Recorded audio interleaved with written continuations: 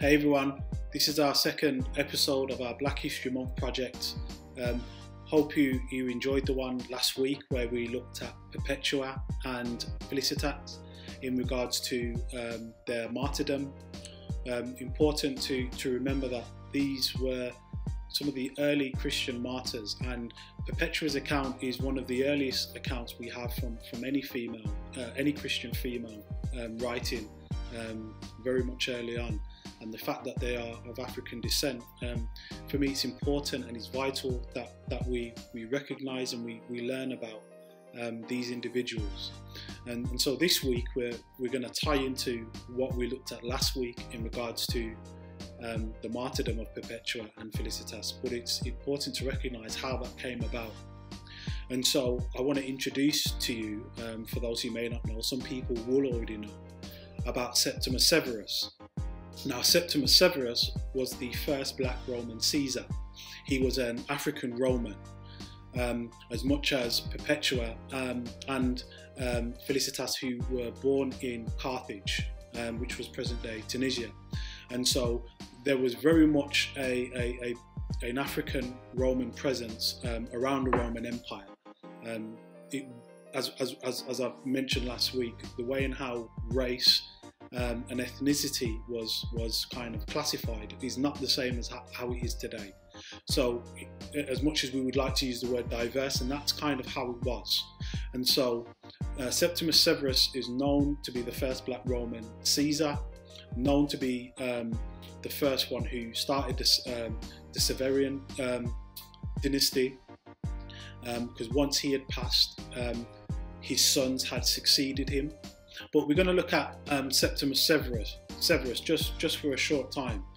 Um, and it's important to know that there's some key things and also how it also relates to, to what's here in Britain as well. Because he, he had also died um, in Britain as well. But if we re recast and recall in regards to uh, the persecution that was happening during um, the around the third the third century, and so Septimus Severus, um, like many other emperors, had um, issued an edict, um, kind of trying to, to, to, ban or to, to stop um, converts to Christianity and to Judaism. There was this idea that Christians and Jews were considered atheists. They didn't believe in the pantheon of gods, they only believed in the one God. And so, um, because Christians and Jews were, were very reluctant to pay homage to the household gods and this idea of Caesar or emperor worship. So um, it was very much a case of, of, of, trying to persecute or trying to uh, stop um, conversion to, to Christianity. And as much as Septimus Severus, who was an African Roman, who came to power, he was a military leader. Um, so there's this idea we can't romanticize that, um, you know, there was this kind of togetherness. There's always been this togetherness in regards to black people. Of course not. We know there's always been classisms and isms and schisms.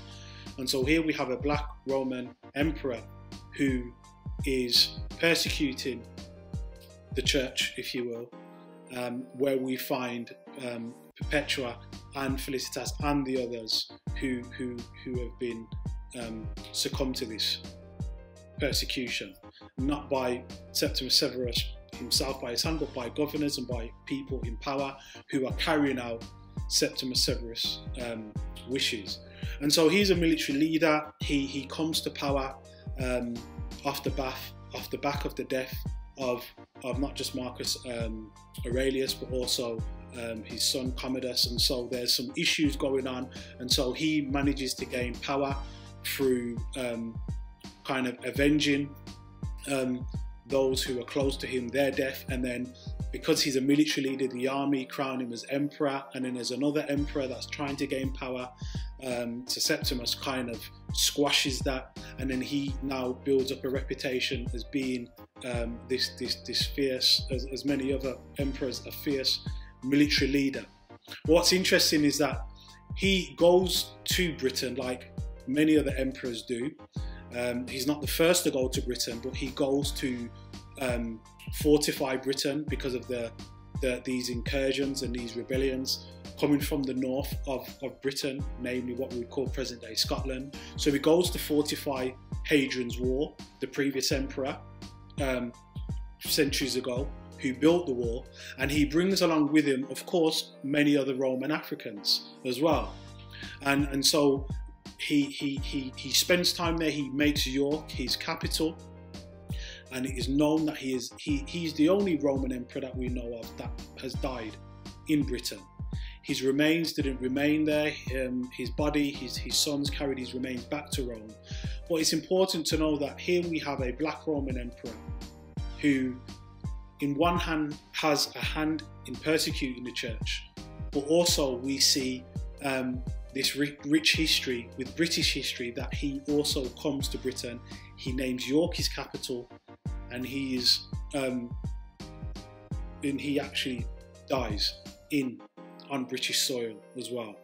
And so it's a fascinating story about about Septimus Severus.